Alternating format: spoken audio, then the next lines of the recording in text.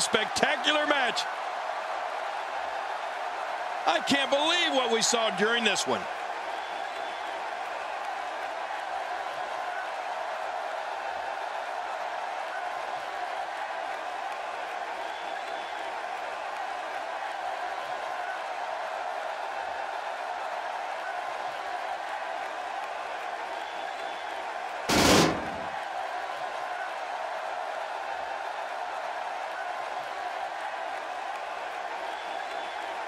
Here are your winners and new European Pro Wrestling Women's Champion, the Princess Neil. And she earns the big victory here tonight. And on top of that, there's a new champion in the WWE. What a match, and thank you for tuning in as we come to you live from Sacramento.